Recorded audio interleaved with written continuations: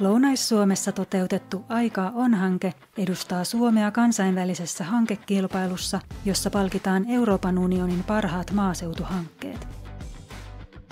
Aikaa on hankkeeseen osallistui lähes 600 maatilayrittäjää, jotka saivat pienryhmätoiminnan avulla kehitettyä sekä omaa osaamistaan että tilojensa kannattavuutta. Pienryhmätoiminta tarkoittaa pienessä ryhmässä tehtävää kehitystyötä, missä jokainen kertoo omista kokemuksistaan, määrittelee nykytilan ja sitten kertoo tulokset ja sitten tuloksia lähdetään vertailemaan ja sitä kautta etsitään sitten ne positiiviset muutokset maatilayrityksissä. Mä oon aivan rakastunut hukkien etsimiseen. Mä oon jo ennen sitä puhunut turhasta työstä, mutta musta se oli niinku ihana saada tämä nimi hukka. Ja, ja se, että musta niinku, johtamisryhmässä ihan parasta mulle oli se, että sai etsiä inhokkitöitä. Se oli niinku se juttu, että mä tajusin, että mun ei tarvitse tehdä, tykätä kaikista töistä. Ja mä voin tehdä ensimmäisenä ne inhokkityöt, tai sitten mä voin antaa ne jollekin muulle tehtäväksi. Hankkeen myötä, kun siirryin rivikylvästä hajakylvöön, niin, niin tota, satotasot paranivat ja, ja sehän on tärkeä tekijä sitten myöskin tässä taloudellisessa tulosta laskettaessa, että pellosta saadaan, saadaan parempi sato.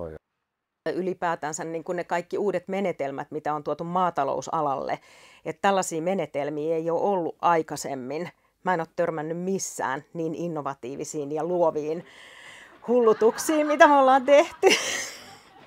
Mutta ne on niitä, mistä saa intoa, mitkä motivoi ja meillä on ollut ryhmissä hauskaa.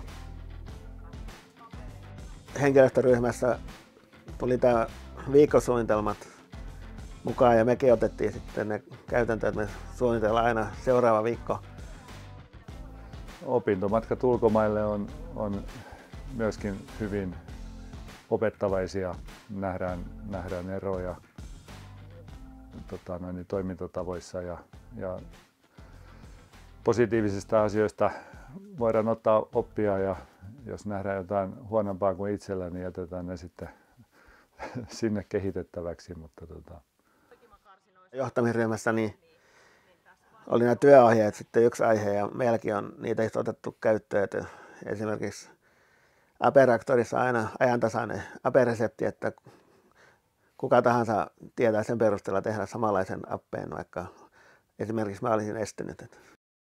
Kun verrataan näitä havaintotilan tuloksia tai voi verrata niin kuin omiin tuloksiin, niin, niin tota, siinä sitten saa hyvän näkökulman siihen, että missä, missä asioissa on itsellä kehitettävää ja, ja missä mahdollisesti sitten on onnistunut